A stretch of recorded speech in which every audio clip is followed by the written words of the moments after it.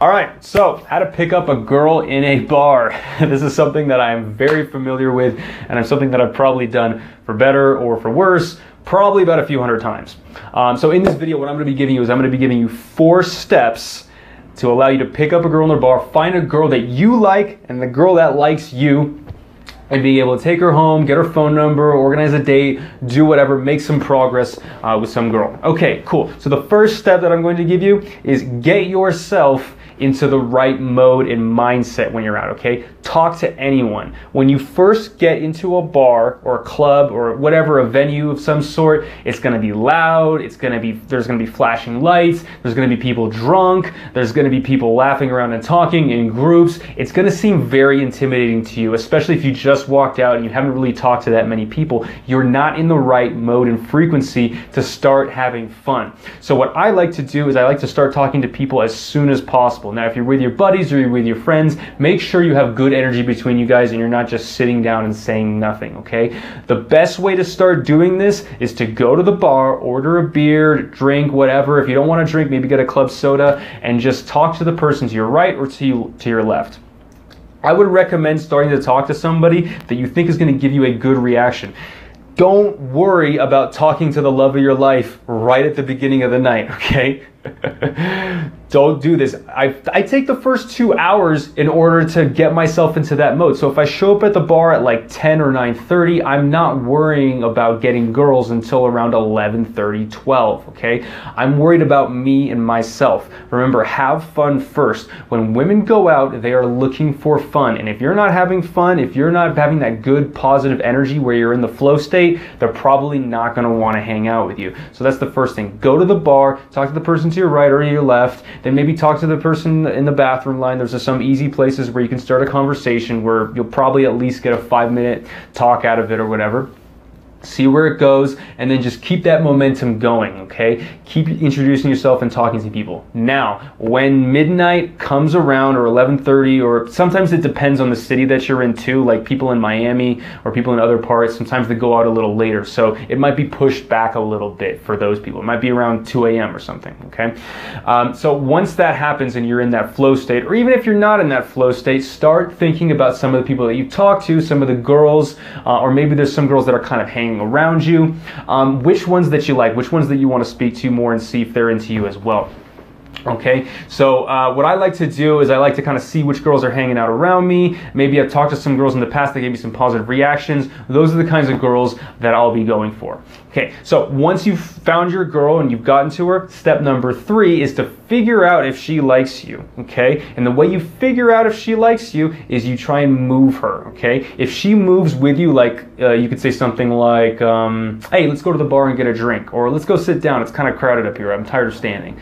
If she goes and moves with you, that means she's into you, okay? Or, you know, at least in some way, shape, or form. You know, there's a chance that she might have a boyfriend still and she just enjoys your presence, but she can't do anything.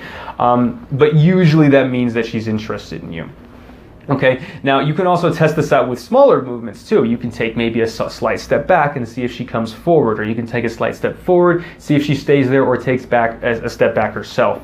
Now, a lot of times people are going to be really nice to you to your face, they'll smile, be friendly, charismatic, or whatever, but you don't know if they're actually into you. The way you find that out is with their actions. People can lie with their words, but rarely will they lie with their actions. If a girl won't move with you, probably might be best to talk to some other girls. Like if they're saying things like, oh no, I'm I'm good here, or it's a girls' night, we're just hanging out with each other, or I can't leave my friends, maybe might be good to go and talk to another girl who will move with you. Okay, now once you have a girl that's willing to move with you, step four is to then progress it to an area where maybe you can start touching, maybe you can start getting into each other's spaces a little bit more and see if she's cool with that. If she's cool with that, then maybe keep progressing it farther don't go full in as much as you can.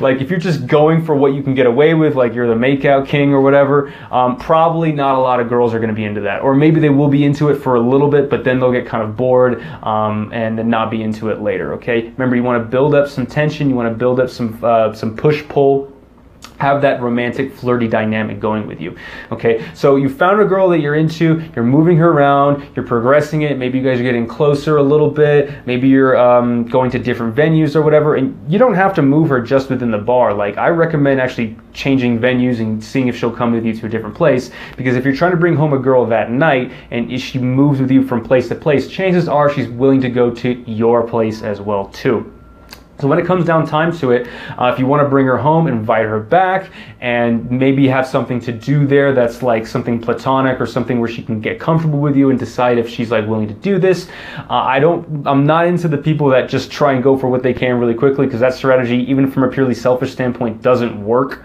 um, and it's also not great for the girl either.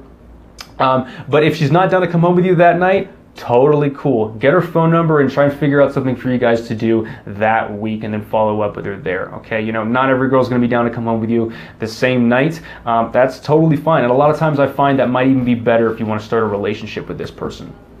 Okay, cool. A couple things that I should mention is that the nightlife, you guys, is crazy tons of different things are happening. Like you can't get upset. If a girl gives you like a negative reaction, she's mean to you, or maybe she just like ignores you, or, or maybe some uh, some guy's rude to you or whatever don't get frustrated, okay? The worst thing that you can do is start getting angry at the world because if you're angry, you're negative, women don't want to hang out with that guy. They want to go for fun. So lead them to fun, be that fun, positive energy that they're looking for, and you're going to have a lot more success. Guys, if you're looking how to do this, if you're looking to learn how to do this, um, I have a one on one coaching program that's perfect for you. This is my bread and butter. Although I think bars and clubs might not necessarily be the best place for everyone, if you can get good at this, you can uh, meet a lot of great great, amazing women. And also, too, it's going to help you out in your everyday life because you're going to be able to introduce yourself, handle certain social situations very well with strangers and other people and friends, too. So, um, if you're looking how to do that, fill out the coaching form down below. If you seem like a good fit, we'll reach out to you. Guys, if you're looking to get trained by me in person, I would recommend you check out my live training schedule. Basically, I'm going to be touring the United States in January and February, and I'd love to see you guys there. So check out the list of places that I'm going to head to. If I'm heading to, it, if I'm not heading to a city that's nearby by you and it's a major one and enough people want me to come there, I will come there. So write that city down. Thanks a lot, you guys. Good luck out there.